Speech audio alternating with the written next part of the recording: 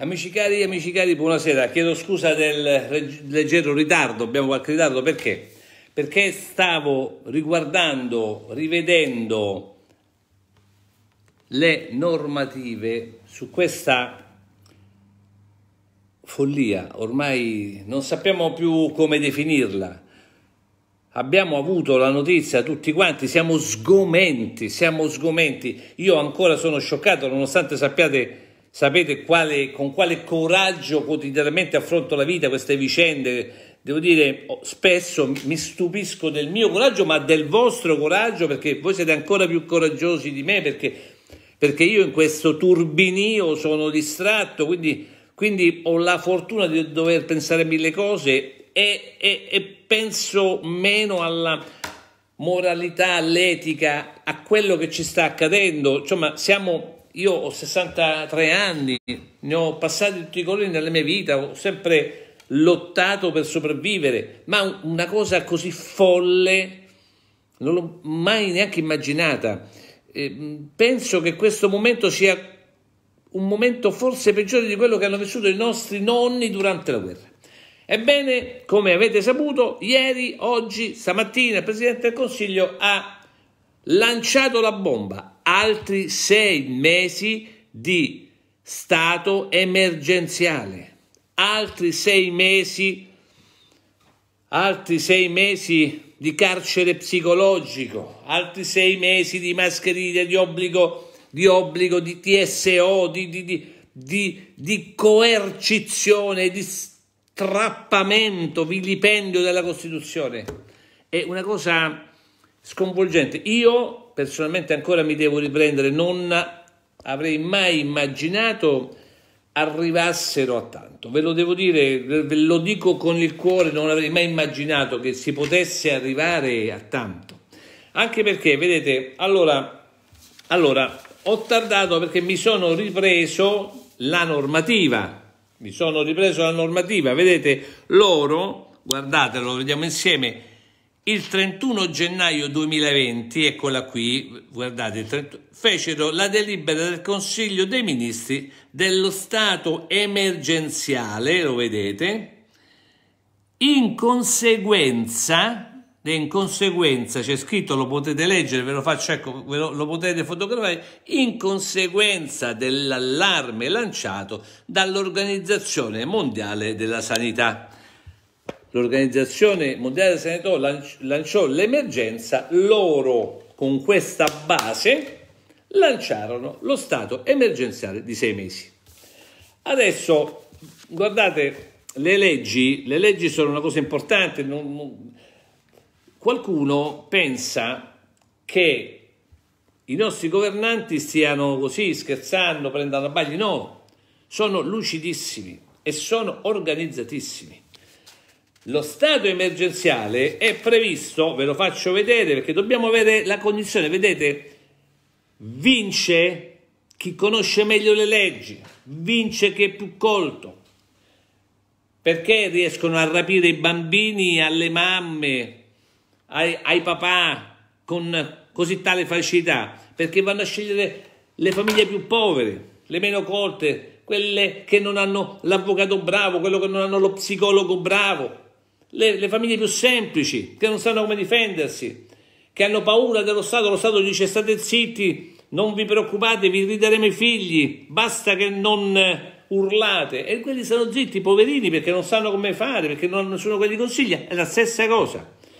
Se fossimo tutti più preparati, più colti, sarebbe più difficile metterci i piedi in testa. Allora la norma su cui si fondano è questa, guardiamola insieme, ve la, ve la spiego, eccola qua, decreto legislativo del numero 1 del gennaio 2018, codice della protezione civile. Vedete, questo è un semplice codice per cui dovrebbe essere esclusivamente un regolamento di come funziona la protezione civile. Guardate, guardate come si riesce a perdonatemi la parola, a fregare un popolo. Guardate, ecco, articolo 24, eccolo qua, lo vedete?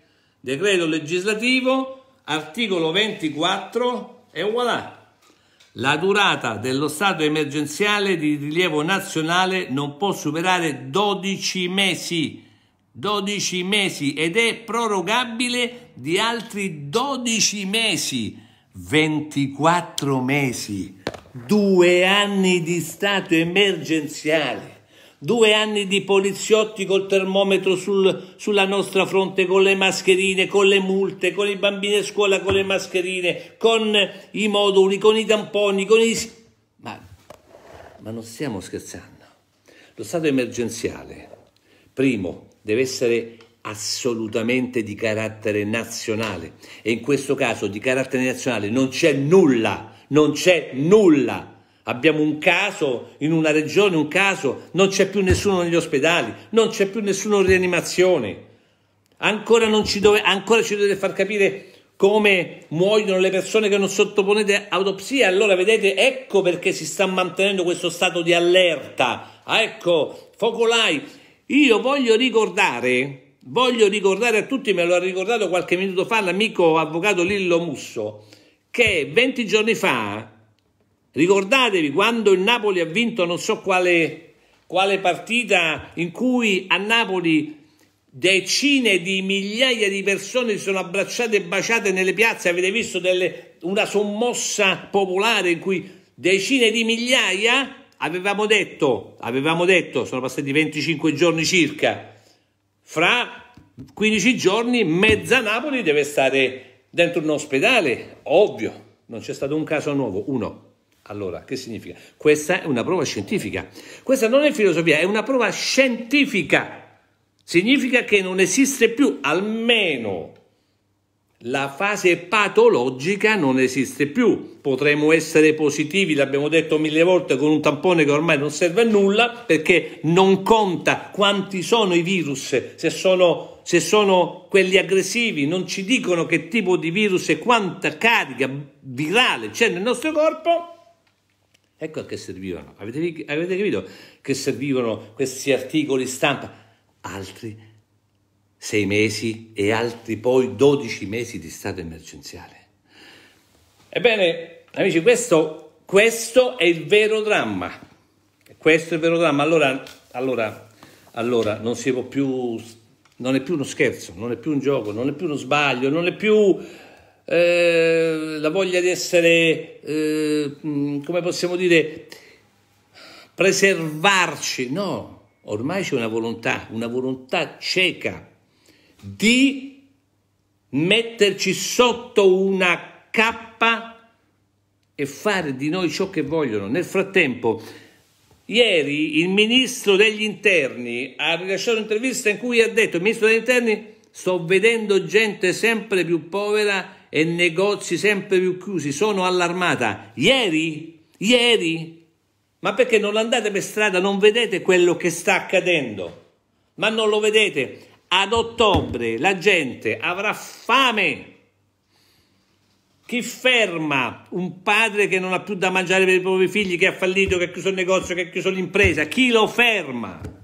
Voi con un altro decreto? Che farete? Il carcere che scende per, strada? il TSO a tutti i cittadini italiani, rimarrete voi 20, 30, 100, la, la casta, ma chi lavorerà più per voi? Questo è un grave, grave, grave dramma, sempre peggiore. Allora, ho chiamato in questo momento tutti gli amici disponibili. Io mi rivolgo a tutti gli avvocati, a tutti i costituzionalisti da domani organizzeremo, ve lo faremo sapere già lunedì, una serie di non petizioni con le firme che ho una serie di bombardamenti mediatici. Faremo migliaia, centinaia di migliaia di mail a tutte le istituzioni. Vogliamo che i costituzionalisti, il professor Cassese per primo, da domani scrivino al Presidente della Repubblica di non firmare questo maledetto decreto legge che ci bloccherà per altri sei mesi, perché è legittimo, perché non c'è nessuna base scientifica, nessuna, è una questione di legittimità. Il decreto emergenziale esiste esclusivamente se un paese, interamente un paese, viene soverchiato da un'infezione, da un cataclisma, da un terremoto intero, altrimenti sono le regioni. Facciano le regioni i loro decreti, regione per regione. Se ci sono mille morti lo devono fare, ma se non ci sono morti, se non ci sono intubati, ma perché? Perché dobbiamo stare in uno stato emergenziale nel Lazio senza un morto? In Puglia senza un morto, in Sicilia senza un morto. Perché? Perché serve? Serve la K? Noi non lo consentiamo. Allora, amici miei, però ci dovete aiutare. Non, vi, vi, assicuro che le nostre forze non bastano più. Ci dovete aiutare, nel senso dobbiamo organizzarci, dobbiamo andare in Parlamento a Strasburgo, dobbiamo andare davanti alla Corte europea di giustizia. Allora organizziamoci, organizziamoci. Ovviamente ci serve anche un supporto, un supporto anche economico, dobbiamo aiutarci da questo punto di vista tutti, perché non possiamo rimanere a fare un ricorso al TAR. Eh, sì, lo facciamo, lo stiamo predisponendo, lo sapete, eh, avete già, cioè, mi, mi avete mandato ieri migliaia di partecipazioni a questo ricorso e vi ringraziamo, stiamo organizzando, quindi già lunedì vi diremo dove iniziare ad andarlo a firmare ma ci dobbiamo organizzare, dobbiamo spostare la nostra battaglia giuridica a livello internazionale, dobbiamo andare, una delegazione di noi, dobbiamo organizzarci, mi rivolgo anche a Alice Razzu che, che, che interviene quotidianamente a livello internazionale, non basta più, non basta più lo sforzo di noi singoli, dobbiamo elevare la nostra battaglia perché uno stato emergenziale in Italia per altri sei mesi ci distruggerà completamente per tutta la nostra vita. Allora ci rivediamo lunedì, spero di darvi ulteriori informazioni. Domani io sarò a Napoli con il professor Bacco, il professor Tarro e il magistrato Giorgianni faremo ulteriori verifiche giuridico-scientifiche di quello che stiamo organizzando, lunedì vi farò sapere tutto quanto, nel frattempo continuate a mandare professori, docenti, eh, me, mh, direttori, nonni, genitori che volete fare ricorso al TAR, ricordatevi la mia mail è sempre, semplice, trovatela insomma su internet, avvocato polacco chiocciolagmail.com vi ho dato ieri anche la possibilità di fare dei, di dare dei contributi a un'associazione, una onlus che ci sta supportando. Rimanete un attimo che vedo se ritrovo il, il comunicato di ieri in cui vi davo queste, queste notizie. Vediamo un attimo ma ecco, non dobbiamo mollare un attimo, dobbiamo essere tutti quanti pronti e, e soprattutto ci dobbiamo organizzare ancora di più, ancora di più. Siamo insieme al collega Lillo Musso organizzando una rete regionale anche di, di avvocati che ci diano un supporto ma lunedì sicuramente scriveremo insieme a voi, ve lo diremo, lo faremo insieme, vi daremo le, le mail di tutti gli organismi costituzionali per invadere tutte le sedi